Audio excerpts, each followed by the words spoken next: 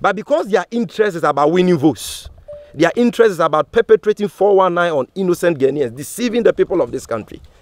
They did this shoddy work here, wasted the taxpayers' money on nothing.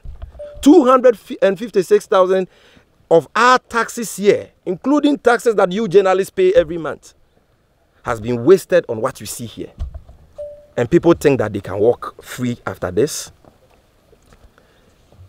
And so that is why we are saying that it would have been more prudent and a judicious use of the taxpayers' money if government had channeled these resources into proper small-scale irrigation dams like what President Mahama did in areas like Mion constituency, which we'll be visiting, and what JICA is doing in some parts of the country.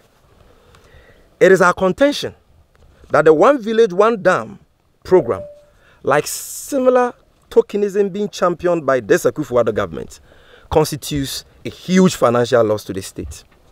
And since this government is determined to stay the course of wasting our scarce resources on such counterproductive measures, which in most cases only facilitate the plundering of our resources into private pockets. We wish to reiterate the point that a future government of the NDC shall investigate and prosecute all persons associated with such deceptive schemes, including this 1v1 scam.